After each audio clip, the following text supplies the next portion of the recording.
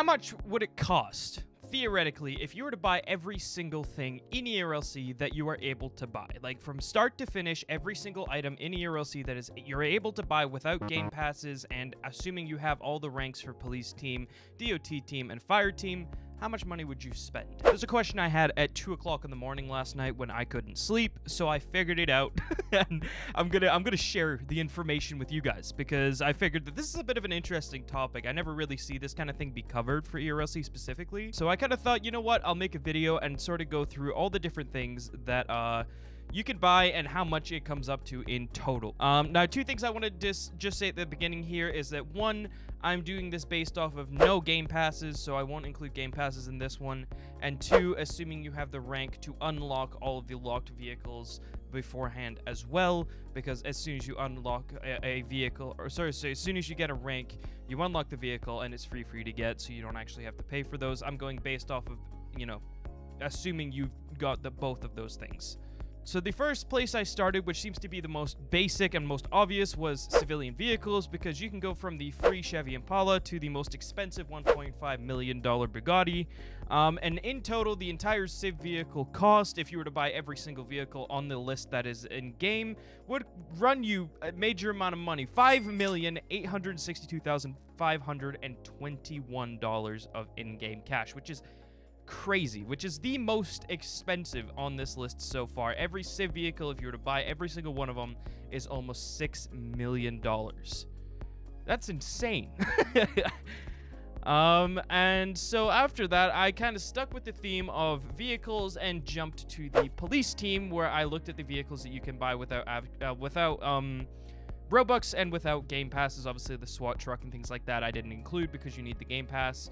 Um, and once you get to said rank, like sergeant, lieutenant, whatever it is, um, the vehicle that you unlock is then free for you to use, so you don't actually have to pay for those. So I went for the ones based off of the ones that you could get from the very beginning at your cadet rank. So for every single police vehicle, it would cost you $282,050, which is a lot of money. And then I did the uh, the same for the other two team jobs, where it goes to DOT and fire. So for DOT vehicles, um, it goes to 167,000, and for fire vehicles, it goes to 170. 7,700. So almost just over $300,000 combined for those two teams, which is crazy considering the fact that that's only a couple vehicles because you do need to unlock them. So just about 300,000 for both of those combined as well. So then I went and thought, okay, yep, you know, that's great and all, but there are also civ jobs that you can do, such as the gas station job with the tanker, um, and all that kind of stuff. So I'm going to go through run through basically the price of all the separate vehicles and then also the combined price of all civ job vehicles. So the first one is the bank truck at 47,000. Then there is the gas tanker, which sits at a hefty 45,000. The tractor, which sits at 35,000. The taxi, which sits at 5,000. The taxi SUV, which sits at 19,000. The limo at 45,000. And the news van at 21,000. All combined, those combined prices come to a total of $234,000, which is absolutely insane. That's a lot of money.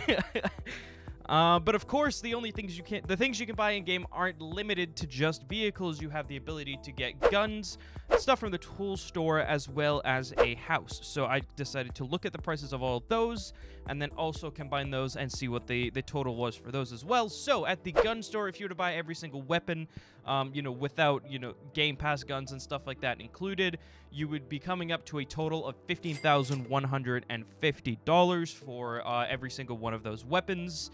For the tool store, you would come to a total of $6,080 for all of the equipable weapons, whether it be melee weapons, drills, scanners, etc. For a house, uh, the very, very basic house, the for five days, I went for the maximum just to kind of maximize this price or this uh, this total range. Um, is 9,800. A lot of money for a house for five days.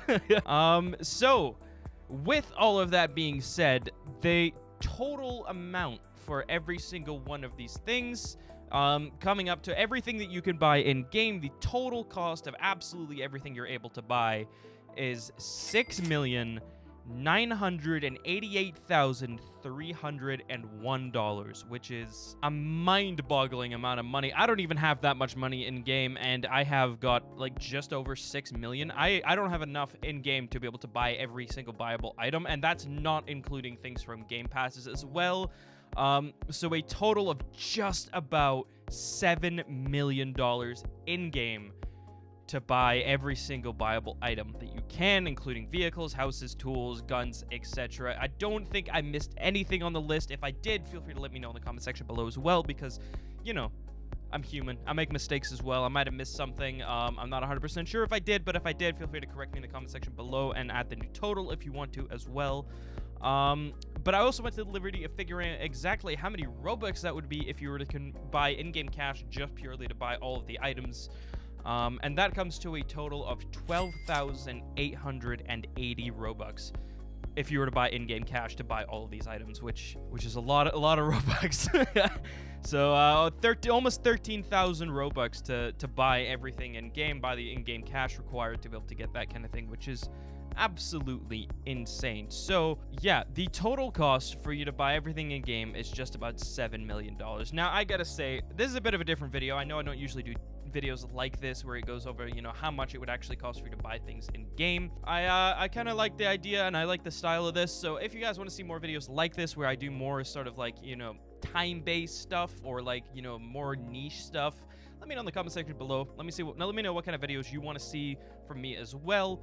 Um, thank you all so much for watching, and I hope you all have a fantastic day, and I'll see you guys later. Bye.